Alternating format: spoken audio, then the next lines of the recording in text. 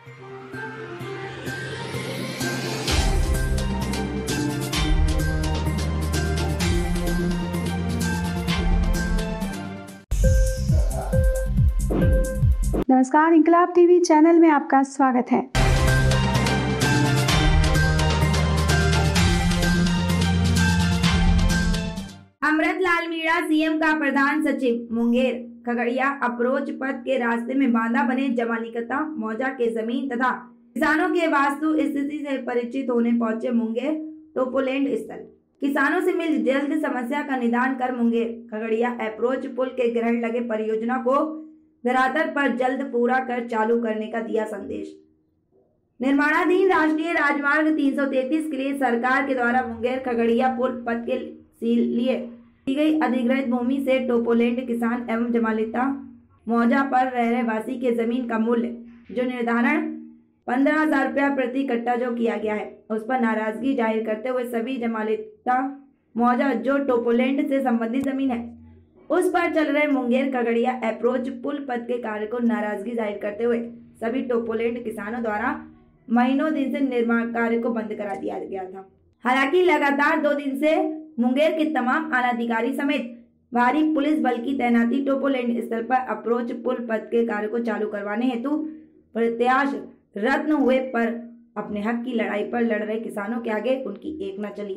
अंत में ग्रहण लगे परियोजना का हाल जानने बिहार के मुखिया नीतीश कुमार का प्रधान सचिव अमृत लाल मीणा ने मुंगेर खगड़िया निरीक्षण किया तथा खगड़िया अप्रोच पथ के टोपोलैंड संबंधित भूमि का स्थल निरीक्षण किया। तथा संबंधित टोपोलैंड किसानों से मिल पूरी घटना से वाकिफ हुए। वही किसानों से मिलने के बाद पत्रकारों से बातचीत में श्री मीणा ने कहा, मुंगेर खगड़िया रेल सा सड़क पुल पूर्व बिहार की महत्वपूर्ण परियोजना है।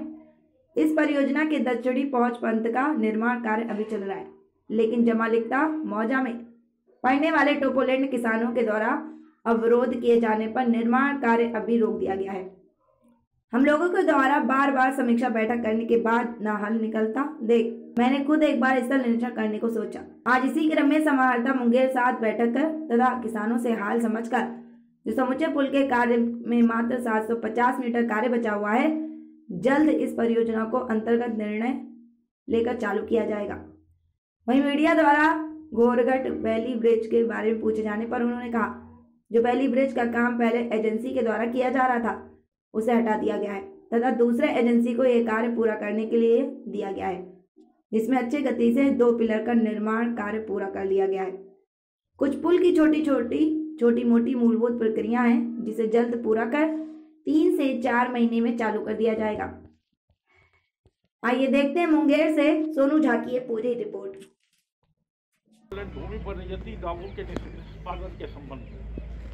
राजस्व एवं भूमि सुधार विभाग भू अर्जन निदेशालय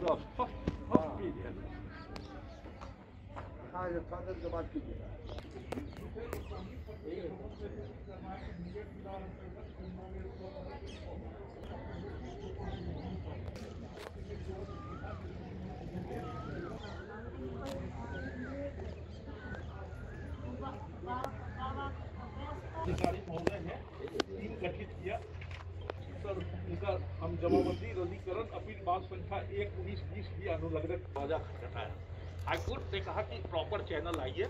रेमेडी के लिए आपका विकल्प खुला हुआ है। तो फिर हम लोग किसान जिला समाजता के यहाँ आए। सर आज किसानों की जो समस्या है उस आपने सुना? उसके लिए क्या निर्णय लिया जाएगा? क्या निदान?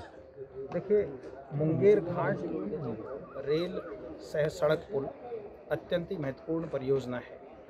इस परियोजना के दक्षिणी पहुँच पथ का निर्माण कार्य चल रहा है, लेकिन जमाल कीता गाँव में किसानों के द्वारा अवरोध किए जाने के कारण काम रुका हुआ है। तो हम लोगों ने समीक्षा बैठक की थी पटना में कई बार, लेकिन फिर मैंने महसूस किया कि एक बार स्थल अध्ययन करके देखा जाए कि बात क्या है। तो अभी स्थल अध्ययन किया है समाहर्ता मुंगेर के साथ में, और किसानों से भी मैंने बात की है, किसानों की बात सुन ली है। उसके बाद अभी हम लोग बैठक करके इस संबंध में अग्रेतर निर्णय लेंगे। और शीघ्र ही इस समस्या का हल निकालेंगे और इस परियोजना को शीघ्र पूरा करेंगे सर एक समाहर्ता मुंगेर और राजस्व विभाग और अन्य सभी विभागों के स्तर पर विचारण इन्वॉल्व है तो अध्ययन करने के बाद इसका हम लोग बातचीत करके हल निकालेंगे। लेकिन निश्चित रूप से जल्दी से जल्दी इस समस्या को हल निकाल करके इस परियोजना को चालू किया जाएगा दोनों चूँकि महत्वपूर्ण देखिए उस समय इसका पहुँच पथ का निर्माण कार्य भी प्रारंभ नहीं हुआ था। हाँ। आज ये 700 मीटर के अलावा साढ़े पाँच सौ मीटर यहाँ और 100 मीटर पीछे। हम्म। के अलावा संपूर्ण लंबाई में कार्य पूर्ण कार्य चल रहा है जो पूर्णता की ओर है। उस समय बेगूसराय एंड पर भी कोई कार्य नहीं हुआ था अब उस साइड में भी कार्य कंप्लीशन की ओर है। रही बात घोरघट की तो घोरघट के बीच में एजेंसी को काम से हटाया गया दूसरी एजेंसी अभी काम कर रही है आप जाके देख लो। हम्म, हम्म। दोनों पाए तेज़ी से काम हो रहा है। अभी भी मैं उसको देख करके आ रहा हूँ और उसमें अच्छी गति से काम जारी है। कब तक सर पूरा हो जाएगा वो? कब तक पूरा हो जाएगा? अभी उसमें एक पाया धस नहीं रहा है सिर्फ़ अभी तीन चार दिन पहले नाइन्टी एम एम वो धसा है और नाइन हंड्रेड एम एम धसा है और उसको चौदह सौ एम और धसना है तो उस पर लोड दिया जा रहा है। आशा है कि अगले दस पाँच दिन में वो धस जाएगा। धस जाएगा तो वो अपने डिज़ाइन डेप्थ तक चला जाएगा। उसके बाद उसमें कास्टिंग होगी उसमें करीब चार महीने का समय लगेगा। उम्मीद करते हैं पाँच चार से पाँच महीने में हाँ चार से पाँच महीने में पुल पूरा हो जाएगा। हमारी टीम लगी हुई है काम तेज़ी से जारी है। थैंक यू भौतिक स्थिति से भौतिक स्थल का निरीक्षण कर वो वास्तविकता से अवगत हुए। और उनको यहाँ की समस्या मूल्यांकन से संबंधित समस्याओं से अवगत कराया गया। उन्होंने आश्वासन दिया है कि इस समस्या का समाधान यथाशीघ्र किया जाएगा और रैयतीकरण से भी संबंधित जो बातें होगी उस पर विचार किया जाएगा। अग्रतर जो है सो किसानों के समस्या का निदान निका यथाशीघ्र निकाला जाएगा। काम करने दीजिएगा कि अभी नहीं। जब मूल्यांकन हम लोगों का मूल्यांकन यह पूरा हो जाएगा कि हाँ इसका वाजिब मूल्यांकन हो गया है तो फिर हम लोग काम पर विचार करेंगे। इस पाए के निर्माण के काम पर विचार करेंगे। क्या लग रहा है आप लोगों को ये इस पाए बिहार सरकार होते हैं। सचिव बिहार सरकार होते हैं और उन्होंने यह आश्वस्त किया है तो मुझे भरोसा है कि मुझे ज़रूर मुआवजा का भुगतान मिलेगा।